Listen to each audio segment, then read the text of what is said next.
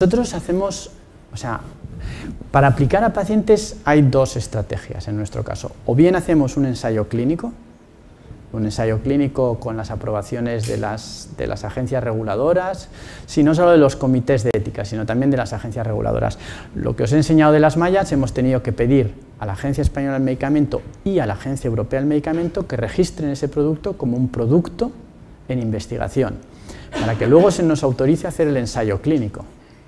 Entonces, esa es una forma en la que lo hacemos. Y luego, en patologías en las que hay bastante evidencia, no definitiva, pero suficiente evidencia eh, publicada de que puede ser eficaz, en algunas ocasiones podemos solicitar la utilización de usos compasivos. Esa es una forma legal que yo no sé en este país cómo funciona, pero en España y en general en Europa, lo que tú puedes es, basándote en la literatura, solicitar a la agencia, a la agencia reguladora correspondiente la posibilidad de, para un paciente, desarrollar una terapia concreta. Entonces, en ese caso específico, ¿dónde lo hemos hecho? Por ejemplo, la aplicación de células mesenquimales de médula ósea para el tratamiento de la enfermedad injerto contra el huésped refractaria tras un trasplante alogénico.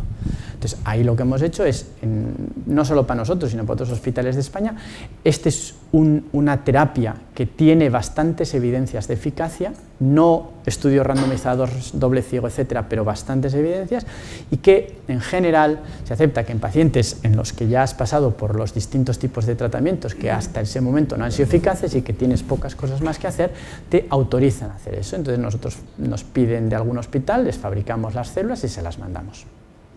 Esas son las dos formas en las que yo aplico terapias a pacientes, nada más.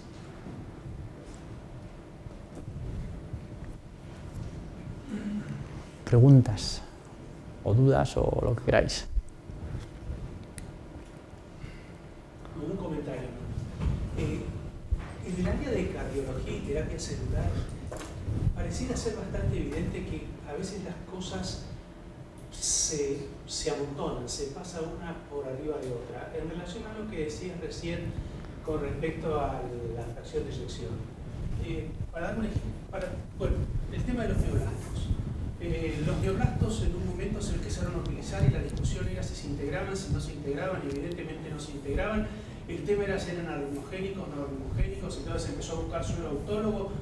Eh, con el suelo autólogo parecía que eran arrimogénicos Después estaba el tema de, los 400 millones, después se decidió hacer un ensayo y con Menashe y con Doris eh, la cosa se fue a 700 millones y hubo algún problema. Y hace 20 días escuchaba en Bahamas a Doris, eh, a Doris Taylor eh, hablar de los mioblastos apoyando la idea de usar la matriz extracelular del corazón, que es lo que ella y Steve Babbitt están haciendo ahora, como futuro, como proyecto. En relación a lo que vos presentabas recién, y creo que somos coautores en algún trabajo de tú y yo, eh, el tema es que a veces parecería como que no sea, y lo mismo con las vías, ¿no? primero los cardiocirujanos poniéndolo directamente, después los invasivos por catéter, después los venoso, parecería ser que como en el área de la cardiología regenerativa no hay momentos de stop, eh, y me acuerdo de los bioblastos porque también la discusión con Juan Carlos Chásquez y otros involucrados en el tema de la fracción de eyección.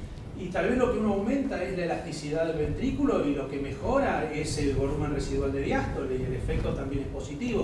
Pero digamos, se cerró el capítulo de los bioblastos, se pasó a la célula, se cerró el capítulo, ahora la matriz extracelular se cierra, se pasa a, a, los, a la citoquina. ¿no?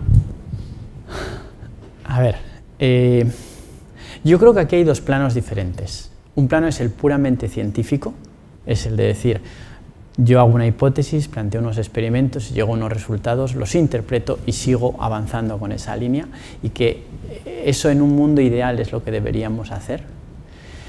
Y otro es el plano donde se mezclan las cuestiones científicas con las cuestiones de moda, de necesidades y de muchas otras cosas. Los mioblastos esqueléticos quedaron desahuciados, sin realmente haberlos acabado de explotar. Eh, quizá uno de los problemas que a mí me preocupa en el campo de la terapia celular es que esto es una especie de moving target. Eh, pasamos de una célula a otra sin tener seguridad de cómo funciona ni si funciona. ¿Por qué? Porque ahora hay IPS y a quién se le ocurre querer trabajar con células mesenquimales cuando tengo las IPS que son capaces de hacer cualquier cosa. ¿Eso qué nos lleva? Pues nos lleva a que a veces podamos equivocarnos. Pero es, es, como están las cosas y además es que no las vamos a cambiar.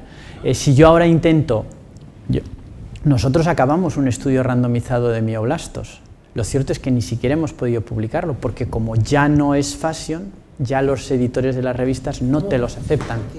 Pues porque no te lo aceptan. Dicen, ¿por qué no tienen interés?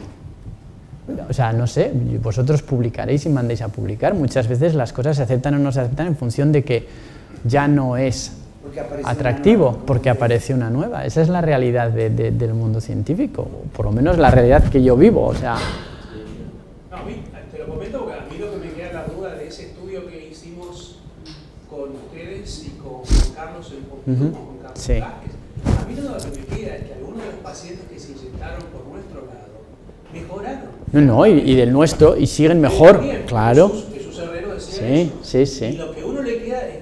Pero, pero, no puedo, pero no puedo hacer tampoco un no, de un caso o de un paciente yo no puedo hacer una hipótesis, bueno, una hipótesis, pero no puedo hacer una, digamos, obtener una conclusión. Pero no la podemos hacer porque no seguimos, porque no, no, sí, sí, sí.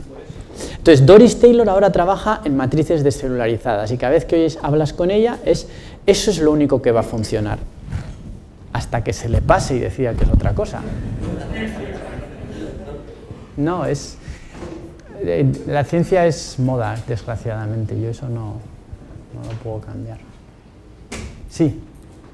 Hablaste que en el ensayo ensayo clínico, eh, la empresa puede buscaba hacerlo con Halogénicas.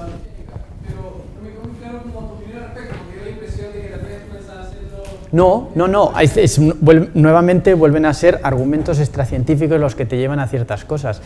Eh, nosotros hicimos todo este trabajo en los cerdos y en los ratas, etcétera, etcétera, con células autólogas. ¿Por qué? Porque nos parecía coherente ir a células autólogas para evitar fenómenos de rechazo, rechazo inmunológico, cosas de este estilo. Cuando ha llegado la hora de la verdad, con células autólogas, toda la logística de conseguir estos tratamientos y sobre todo de hacerlos atractivos para una empresa se pierde, porque una empresa el encarecimiento que supone el hacer las células autólogas es muy grande. Y además hay evidencias que sugieren que las células halogénicas, al menos las de la grasa o las mesenquimales, tienen cierta capacidad inmunoreguladora y además inmunoprivilegio. Por tanto, hay estudios hechos con halogénicas en las que, o hemos hecho estudios con halogénicas, de hecho no os los he enseñado, pero en cerdos hemos hecho estudios con mallas con halogénicas y en ratas hemos hecho estudios con mallas con halogénicas en los que vemos tanto a nivel de suero como a nivel cardíaco, que no hay un fenómeno de rechazo inmunológico, no hay un aumento de la inflamación, no hay aumento. Y puesto que el mecanismo de acción sigue siendo indirecto, que es la liberación de sustancias, pues vamos a hacer felices a la empresa, porque si no, no tenemos dinero para hacer el ensayo. Es un poco lo que... Entonces yo no tengo podemos argumentar durante horas y días si halogénicas o autólogas y no vamos a llegar a una conclusión.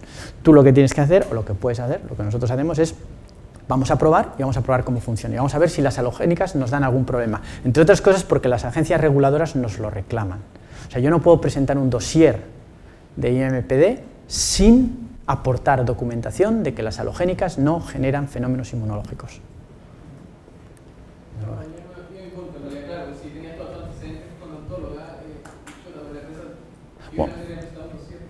sí, pero al final también está la otra parte. ¿Más preguntas?